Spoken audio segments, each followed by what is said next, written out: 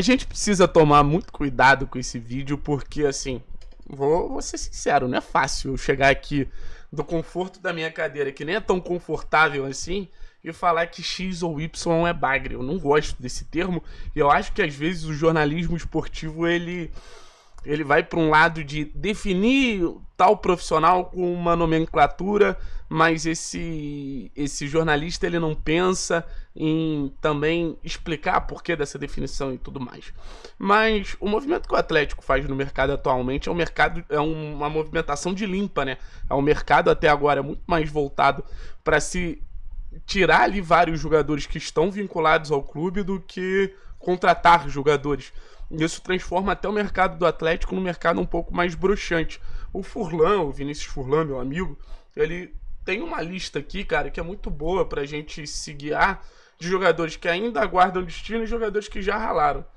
Eu vou falar primeiro os jogadores que já meteram pé, tá? Ó, Anderson Goleiro, Léo Gomes, Dani Bolt, Cleiton, Orejuela, Paulo Vitor, Matheus Fernandes, Marlos, Julimar, Valber, Vinícius Mingotti, Iago, Daniel Cruz, Nicolas, Dudu Chat, Fabinho, Jaderson, Pablo Siles. Aí existe uma expectativa pelo Nico, existe uma expectativa pelo Christian. Provavelmente a dupla é, Edu e Lucas Halter deve fechar com Goiás. E o Denner tá prestes aí pro CRB. São nomes assim, cara, que eu acho que 90% dessa lista realmente tinha que sair do Atlético, tá? Acho que 90% dessa lista tinha que realmente buscar outro clube, buscar um clube mais compatível com o nível do seu futebol.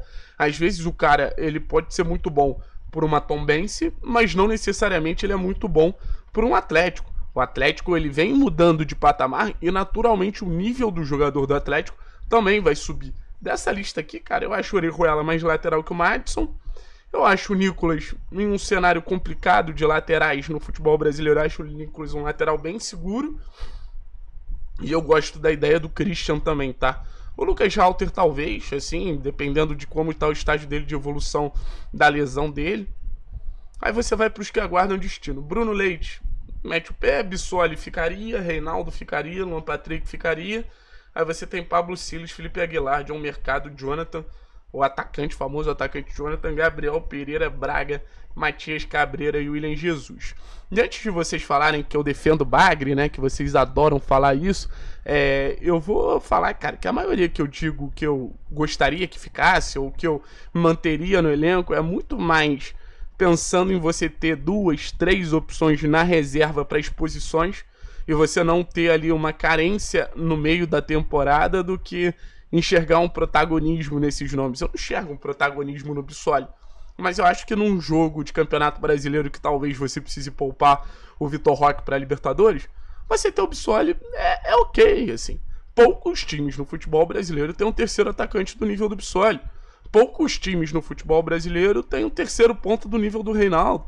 Que é bom jogador, assim, já demonstrou isso até no futebol principal. Mas eu acho que, assim, essa movimentação é interessante, cara porque você deixa claro que você não está aceitando qualquer coisa mais. Não que esses jogadores sejam qualquer coisa, mas o Atlético e o atleticano, ele ele teve quase que numa casa de apostas, né? Teve quase na KTO nas últimas, sei lá, 10, 15 temporadas, onde o clube precisou arriscar muito, apostar muito para ver se conseguia um ou outro jogador ali de um nível maior, acima da média porque financeiramente o clube ainda não estava pronto para contratar certezas. E quando você tem a possibilidade de pagar mais caro, você busca essas certezas. Você busca minimizar os riscos. Você busca minimizar é, o, o tempo perdido ali com jogadores que possam não te dar um retorno.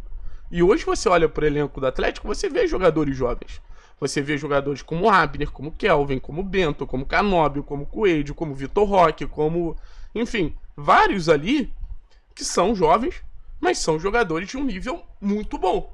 Você falar do nível do Vitor Roque é um nível foda. Você falar do nível do Abner é um nível foda. O nível do Bento é um nível foda. E assim, o, o Atlético ele tem que tomar cuidado porque ele tá dando filé mignon para quem tá acostumado com patinho. Ele tá dando filé mignon para quem tá acostumado com a 100. O, o Atlético, ele precisa entender muito bem qual é a intenção dele daqui para frente para não passar o recado de, ah não, esse nível de jogador aqui não é mais aceitável no clube. Eu só vou contratar esse nível para cima agora. Mas até agora a gente teve uma temporada contratando de um nível foda. Outros jogadores foram se desenvolvendo no próprio clube, o clube tendo paciência com eles, sabe? Porque, por exemplo, jogadores que saíram recentemente. Um jogador que para mim é um exemplo claro. O Fasson não poderia contribuir para o Atlético? O Fasson não poderia contribuir para o Atlético? Um zagueiro de seleção de base, um zagueiro novo, um zagueiro com uma capacidade de construção absurda. E a gente ainda tem, num cenário que a gente vislumbra o filé mignon, a gente ainda tem algumas sardinhas ali no elenco. Porque você busca um, um, nível muito alto, um nível foda, e você tá certo, eu acho do caralho, o Atlético sempre tá buscando um nível mais alto. Mas você ainda tem o Pedro Henrique. Você tá buscando um nível muito alto, mas você ainda tem um jogador do. Pô, assim, chegando o Madison. Você ainda tem um Hugo Moura. Você ainda tem um Pablo jogadores que são de um nível inferior. E eu entendo que dentro de um elenco você nunca vai ter só o, o seu nível máximo. Um elenco equilibrado é você ter os pica, mas você também ter ali os coadjuvantes que, que são capazes de te ajudar. E é, e é nessa categoria da pirâmide do Atlético que eu quero debater. A categoria principal, ela pode até aumentar de nível mas eu acho que é uma categoria principal muito boa. Um dia eu ainda vou fazer esse desenho. No, no topo da pirâmide você tem lá é, Terãs, Bento, Vitor Roque Fernandinho, sabe? Thiago Heleno. Aí embaixo você tem Kelvin, você tem Abner, você tem Vitinho, você tem Coelho, sabe? Você pode botar o Alex Santana, você tem Eric. Aí mais embaixo você tem Pablo, você tem Vitor Bueno, você tem o Moura, você tem. Enfim, outros jogadores ali, Citadini, você tem.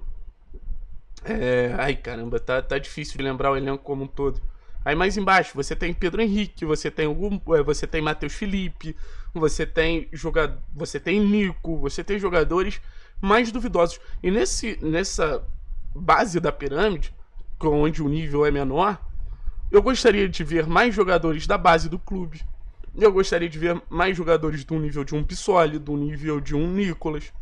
É nessa estrutura que o Atlético ele precisa, eu acho que olhar mais. Porque eu acho que essa estrutura que te baseia ao longo da temporada. Os picas, eles vão aparecer em qualquer momento. Esses caras que estão no topo, eles vão aparecer nos principais momentos, mas eles vão se destacar em qualquer momento. Mas esses caras da base, talvez eles te deem, cada um ali te garantam um jogo no Campeonato Brasileiro. Mas isso já é importante. A gente não pode pensar só no cara que vai garantir a final da Libertadores. A gente tem que pensar no cara que vai te sustentar no Campeonato Paranaense, na Copa do Brasil, no Campeonato Brasileiro. É o cara que vai roer o osso, o operário da bola. Eu acho que, assim, talvez o Atlético esteja aumentando muito o sarrafo. Isso é bom. Isso é bom. Aumentar o sarrafo é bom. Mas quando você acompanha nas contratações. Não adianta ter só saída. Você precisa acompanhar nas contratações. É, a maioria que eu citei ali no começo do vídeo, beleza, forte abraço, tchau. Sabe? Mas assim, eu tô começando a ficar preocupado. E eu acho que se não fosse o Alexandre Matos, o diretor de futebol, a gente já estaria cobrando mais. Porque, assim, são nomes que a gente observa que possam ser muito úteis para o Atlético, mas são nomes também que a gente observa que assim, possam podem ser substituídos.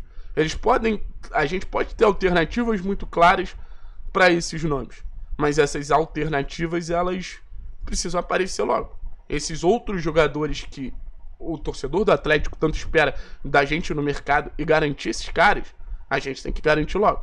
Não adianta também ficar só na base da ideia. É essa que é meu ponto. O Atlético não é mais um clube de bagres? Ótimo. Mas o Atlético tem que ser um clube também que reestrutura a sua pirâmide. É esse que é o meu ponto.